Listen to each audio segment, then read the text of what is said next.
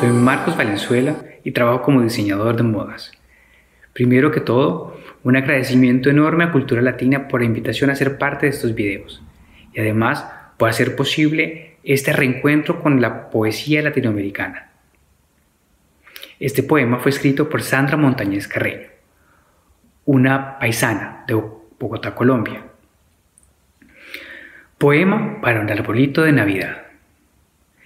Tengo ganas de que venga corriendo la Navidad para poder adornar mi arbolito siempre verde, con el que tengo una dulce, hermosa y tierna amistad y al que guardo cada año para poder mantenerle. Lo resguardo con esmero y lo riego con esperanzas, a las que impone verdemente desde el centro del salón, manteniendo así muy fresca su majestuosa elegancia, adornada rojamente con bolitas de ilusión. Cada guirnalda es un sueño y cada anhelo un festón, que sujetan dulcemente los deseos, las ilusiones y todas las peticiones que hacemos al Señor, llenando de encanto y magia nuestros chicos corazones.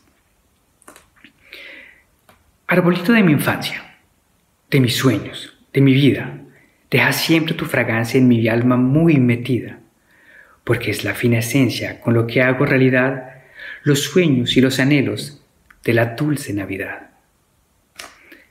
A todos los seguidores y lectores de Cultura Latina, los mejores deseos para un 2023 lleno de magia y emoción y felicidad, y además tener unas felices fiestas en este año.